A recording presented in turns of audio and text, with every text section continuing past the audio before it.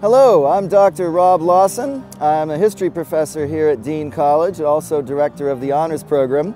I've been here about 11 years and in that time have fallen in love with Dean history.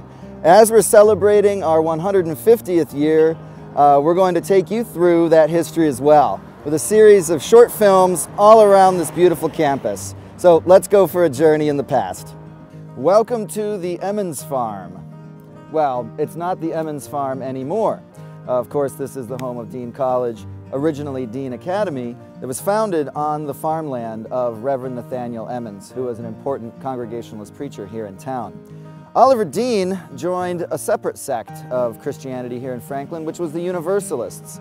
And in fact, the first building that was um, constructed on this landscape was in fact the Universalist Church, which um, today is the Green Family Library Learning Commons.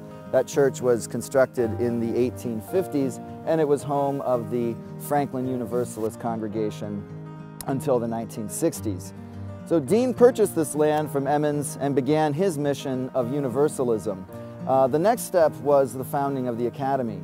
Originally, Dean had hoped to found an actual college for the Universalist Church, but he was beat out in that effort by Charles Tufts and those who founded Tufts College, which of course today is Tufts University.